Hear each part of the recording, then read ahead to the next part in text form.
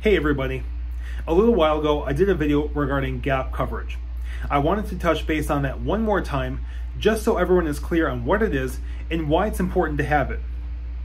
Now, just like we opt for collision or comprehensive coverage on our vehicles in the event of an accident, gap coverage is there as insurance for the loan, so if your vehicle is totaled out due to an accident or is even stolen, gap coverage will take care of the difference between what you own the vehicle and what insurance says it's worth and in some cases that could be several thousand dollars.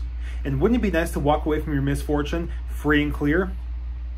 Now, if you have any additional questions on how to get gap insurance, you can contact our finance department here at 920-731-1300 or ask about gap insurance the next time you're in buying or leasing your next vehicle.